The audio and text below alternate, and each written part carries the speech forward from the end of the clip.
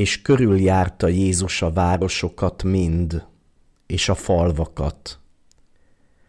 Tanított azoknak zsinagógáiban, és hirdette az Isten országának evangéliumát, és gyógyított mindenféle betegséget, és mindenféle erőtlenséget a nép között. Máté 9.35 Először tanítani kell. Amikor Jézus hitetlenséggel találkozott, tanítani kezdett. Lásd Márk 6, 5-től 6-ig.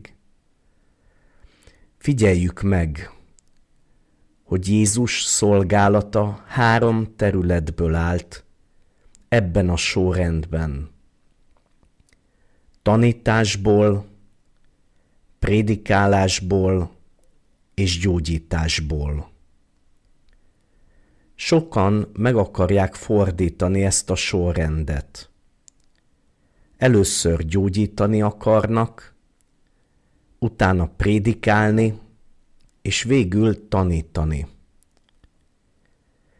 Ha azonban olyan eredményeket akarsz elérni, mint Jézus, az ő példáját kövesd. Olvassuk tovább. Mikor pedig látta a sokaságot, könyörületességre indult, avagy irgalomra, mert el voltak gyötörve és szétszórva, mint a pásztor nélkül való juhok.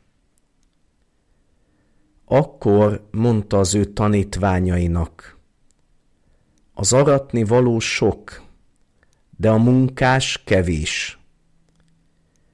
Kérjétek azért az aratásnak urát, hogy küldjön munkásokat az ő aratásába.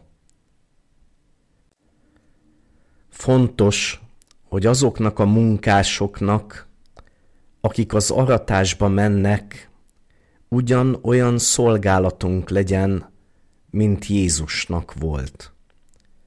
Tanítás, prédikálás és gyógyítás. Először tanítani kell.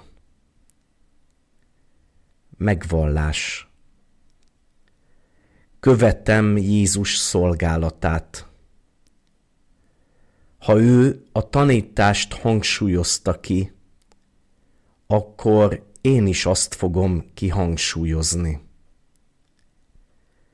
Gondoskodom arról, hogy jó tanítást kapjak Isten igéjéből, ami segít a hitemet felépíteni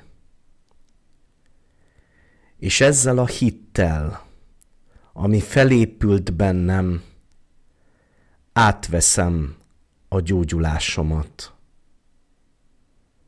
Mert Jézus Krisztus sebeivel meggyógyultam.